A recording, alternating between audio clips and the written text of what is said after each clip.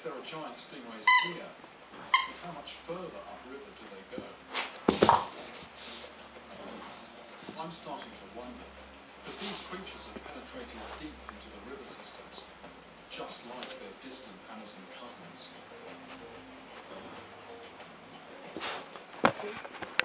Getting on.